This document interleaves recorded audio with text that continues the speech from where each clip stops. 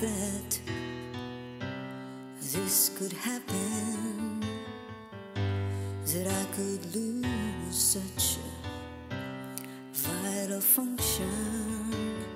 And I can get rid of these toxins within, can get them all flushed out of my system.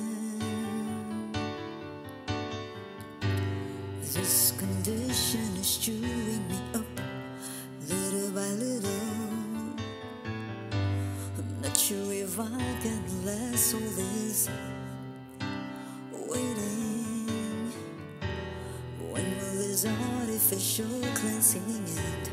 My body is tired ready to give in.